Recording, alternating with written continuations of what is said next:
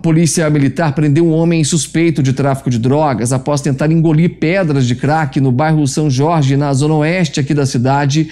Foi ontem à tarde que deu problema para esse cidadão aí, hein?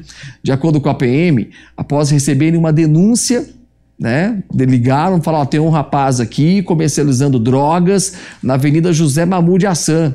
Os militares foram até o endereço para averiguar. E aí Chegando lá, perceberam né, que o rapaz estava fazendo uma movimentação estranha. O rapaz também percebeu que seria abordado e tentou engolir as pedras de crack, só que em seguida ele cuspiu. Né? Até pensou bem e falou: vai dar problema para mim isso aí. Eu não vou, se, se eu engolir esse negócio aqui, eu vou passar para outra vida. A polícia militar apreendeu 16 pedras de crack, R$ 125,70 em dinheiro. O suspeito foi preso em flagrante e encaminhado à delegacia da Polícia Civil com o material apreendido.